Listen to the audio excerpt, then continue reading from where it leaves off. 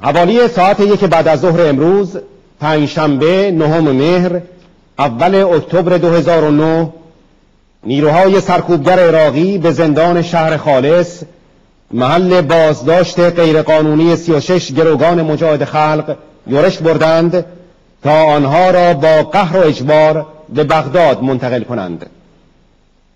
از آنجا که حکم آزادی قطعی این مجاهدان برای سومین بار از سوی دادگاه شهر خالص ابلاغ شده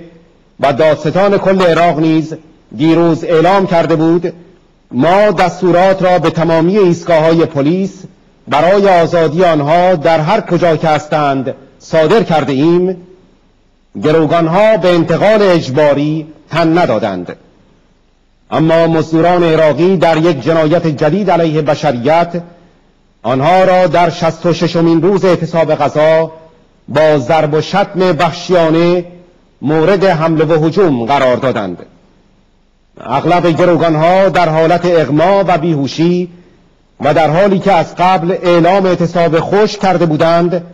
در حالت دست بند زده و در حالی که پیکرهایشان نقش بر کف خودروهای مزدوران شده بود به نقطه نامعلومی منتقل شدند. همزمان در بغداد نوری مالکی در مراسمی که مستقیما از رادیو و تلویزیون عراق پخش می‌شد به گونه فوق متناقض ائتلاف دولت قانون را برای شرکت در انتخابات آینده عراق اعلام نمود و بر استقلال عمل قوه قضاییه تأکید می کرد. روز گذشته گروهی از نمایندگان مجلس عراق با ابراز نگرانی عمیق از سرنوشت 36 تن از پناهندگان کمپ اشرف اعلام کردند ممانعت از اجرای حکم قاضی یک اقدام خودسرانه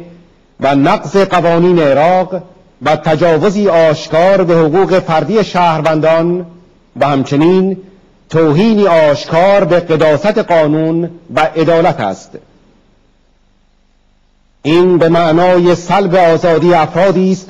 که بیگناهی آنها اثبات شده و در مقابل قانون قابل پیگرد است. مقاومت ایران بر اساس موافقتنامه‌ای که نیروهای آمریکایی پس از تحویل گرفتن سلاح‌های مجاهدان اشرف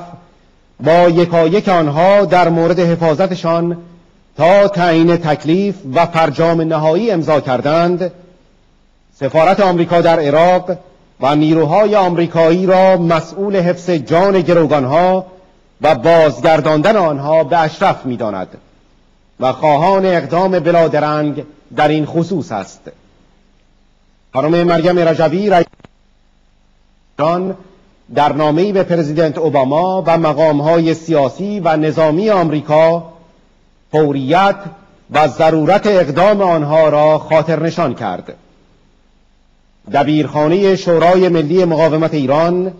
نهم مهر 1388 اول اکتبر 2009